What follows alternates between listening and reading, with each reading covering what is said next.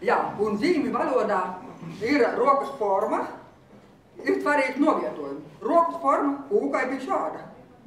Es parādīju, es pagriezīšu roku otrādi un rādīšu to pašu.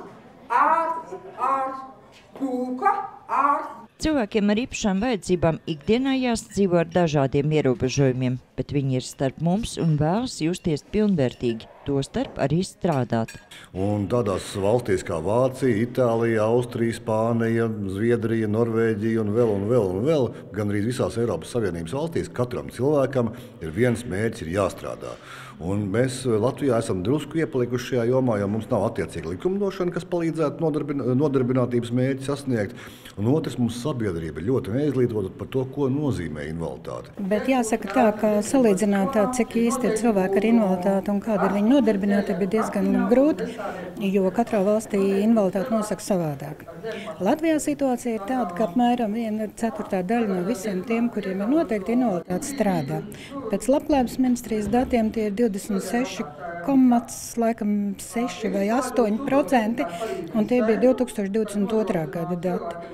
Nu, sliktāk rādītāji ir cilvēki ar intelektuālo invaliditāti. Kā atzīst eksperti, salīdzinot ar citām Eiropas Savienības valstīm, šis rādītājs pie mums esot labs. Sliktāka situācija esot cilvēkiem ar intelektuālo invaliditāti un pirmās grupas invalīdiem. Tur gan mēs atkal kā Latvija atpaliekam atkal par tiem pašiem 10% punktiem, jo citur ir lielāks atbalsts šiem cilvēkiem.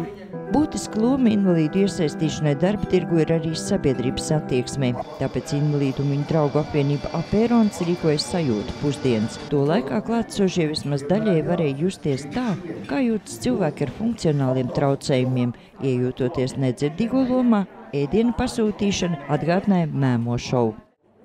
Pavlova. Kaut kāda kūciņa. Kū, Jā, kūciņa. jā. Okay. Pavlova. Pavlova. Otra.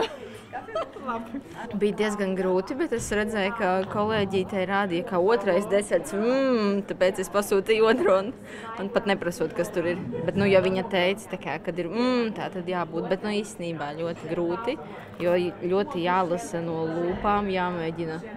Aha, otrais rogu želē. Okay. Arī Latvijas darba devēja konfederācijas ģenerāldirektors atzīst, ka pusdienot nesot bijis viegli, tomēr tā bijusi iespēja pārvarēt neziņu. Kaspars Gorkšs RTV norāda, ka bailes un šaubas uzņēmējiem nākšoties pārvarēt, jo cilvēki ar īpašām vajadzībām ir liels, bet pagaidām neizmantots resurss.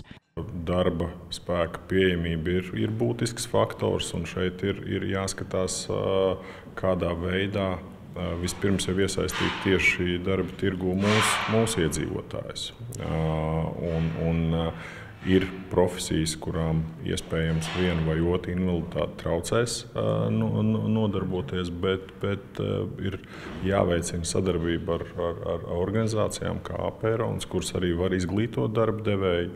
Vairāki sajūtu pusdienu dalībnieki, tostarp arī Latvijas darba devēja konfederācija, norādīja, ka līdzīgu pasākumu organizēšot arī savu nozaru darbiniekiem. Sandra Leitāna, Andrs Pāns, Re TV.